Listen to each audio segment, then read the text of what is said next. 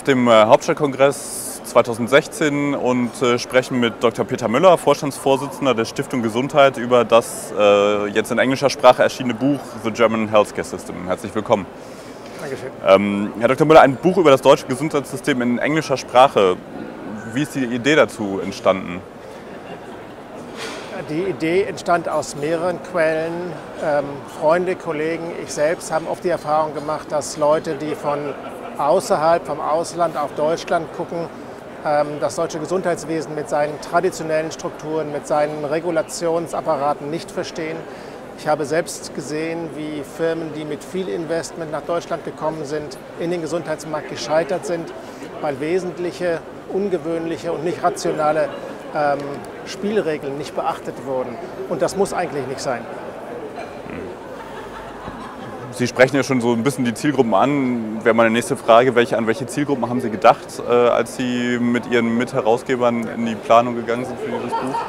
Also das Buch ist konzipiert für Leute, die Deutschland noch nicht kennen, die vom Ausland, Asien, Afrika, ähm, USA auf den deutschen Markt gucken und eventuell Interesse haben, sich auf dem deutschen Markt zu betätigen. Der Untertitel heißt ja Accessing the, the German Healthcare Market. Das heißt, es geht äh, um, um Unternehmen, Medizintechnik, Pharma. Wo, was meinen Sie, wo, wo passt es am besten? Also erstmal vordergründig jeder, der sich für den deutschen Gesundheitsmarkt interessiert, wie er funktioniert, warum er so funktioniert, wo Dinge herkommen, wer die zuständigen Stellen sind, ähm, wie funktioniert die Refinanzierung, denn auch Gesundheit funktioniert nicht ohne eine Refinanzierung. Ähm, in dem Buch werden ja auch äh, einige Dinge durchaus kritisch äh, betrachtet, äh, zum Beispiel die elektronische Gesundheitskarte. Geht es darum zu zeigen, wie man es nicht machen sollte? Ähm, nein, natürlich gibt es Dinge, die nicht hinreichend funktionieren. Elektronische Gesundheitskarte ist über Jahre verzögert, Jahre verzögert. Ähm, wenn man aber in den Markt hinein will, dann muss man sehen, wo sind Opportunities, wo sind Marktchancen und Marktchancen ist da, wo man etwas Besseres bieten kann, als das, was bisher da ist. Ähm, wenn man sich die, die Gesundheitssysteme im internationalen Vergleich anschaut, ähm, von wem kann das deutsche System da am meisten lernen und umgekehrt?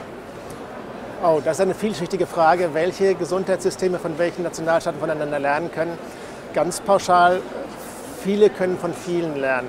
Ich habe mit großem Erstaunen übrigens festgestellt, dass Kollegen in USA, wo ja zum Beispiel Obamacare mit dieser ideologischen Wut bekämpft wurde, dennoch mit Hochachtung und Respekt auf das deutsche Sozialversicherungssystem gucken und dessen Vorzüge. Also es ist nicht alles schlecht. Ähm, wo Deutschland lernen kann, braucht man gar nicht so weit zu schauen. Wir können extrem viel lernen aus den nordischen Ländern, Skandinavien, Estland, sehr, sehr viel an Fortschritten, an Nutzung von Digitalisierung, an Wertschöpfung, an Minderung von Schmerzen, Minderung von Gefahren, ähm, lernen sehr viel auch in der Nähe. Sie sprechen die, die Digitalisierung an. Ist das äh, ein Feld, wo, wo die Deutschen eher weit hinten sind, wo das, das deutsche System eher weit hinten ist?